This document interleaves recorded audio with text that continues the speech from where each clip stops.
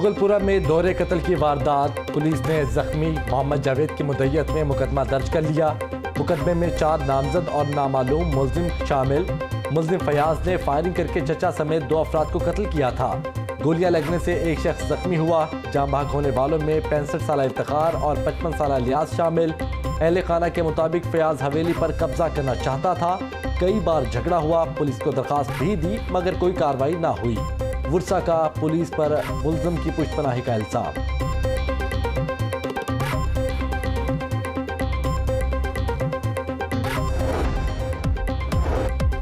नून league का कल भगवानपुरा में जलसे का फैसला, शाहिद का कानाबासी ख्वाजा सारफी का या सादिक और दीगर रहनुमा खिताब करेंगे।